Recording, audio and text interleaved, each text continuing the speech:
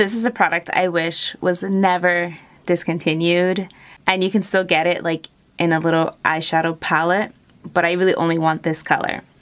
This is from Bobbi Brown Cosmetics, Jade Birch O.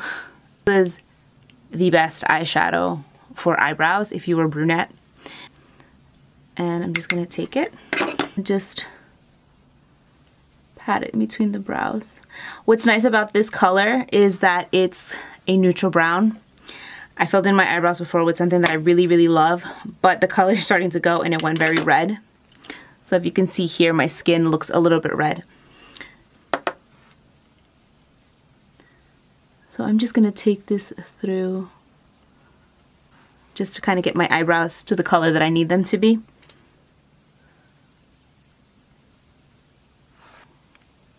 That looks a lot better now.